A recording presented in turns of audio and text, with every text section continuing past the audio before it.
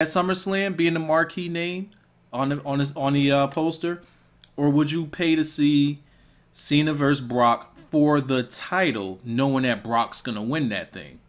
So you have that, and then at the same time, would you want to see Cena versus Brock not for the title, but then you have Roman Reigns versus Randy Orton for the title?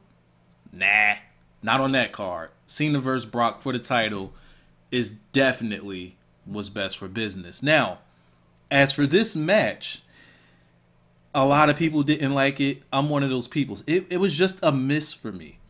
Um, you could tell they try to go for some moments. They try to go for some some OMG moments.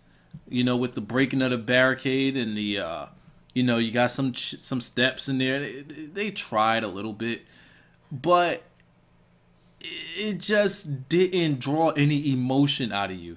And the more we see matches like this, these type of gimmick matches, the more we just get accustomed to them and they just become regular matches and we don't really care about them anymore. We need to see more chair shots. We need to see like they need to really get